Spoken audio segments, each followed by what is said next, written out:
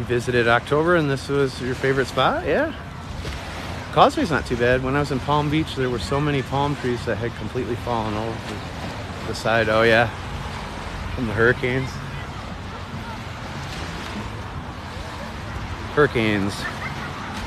Hurricanes.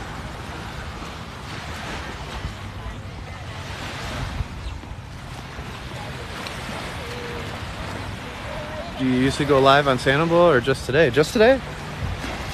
I go live from Southwest Florida, but um, this time of year I don't normally come out here.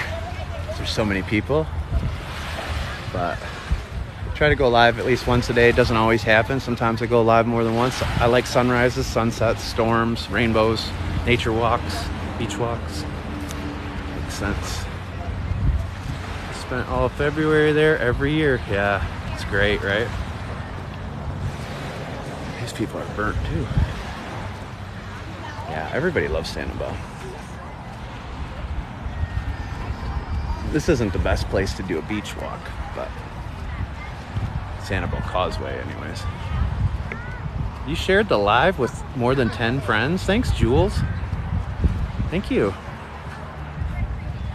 Thanks for all the follows. Yeah, everybody likes seashells. I'm gonna have to learn more about them. I didn't realize how expensive some of those shells are. I probably walk by them on a regular basis.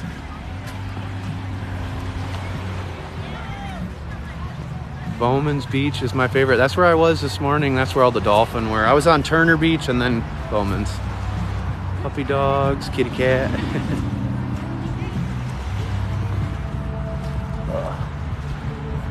Sand is so soft, it's hard to walk on over here.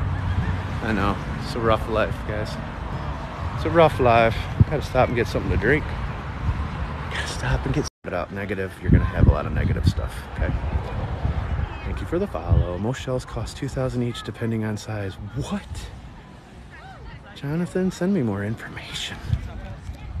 Jonathan, send me more information. Please. Tell me what I need to find, what I need to look for. Here I'm going around trying to do a side hustle doing this.